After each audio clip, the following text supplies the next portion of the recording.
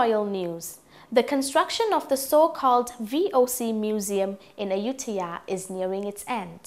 Ayutthaya is north of Bangkok.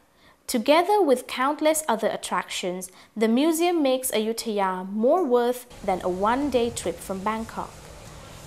The museum is a state present of Queen Beatrix of the Netherlands.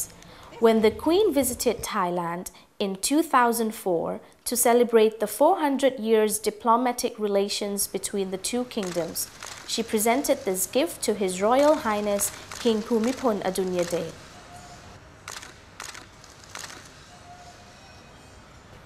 The museum will unveil to the visitors the history of the Dutch East India Company, the VOC, which started trade relations in Ayutthaya from 1604 onwards.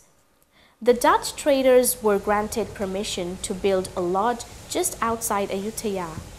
On the very same location is now the museum, which will tell in a lively way how the Dutch people lived and worked in the Ayutthaya era. Holland was the first country in Europe that received a diplomatic mission from Thailand.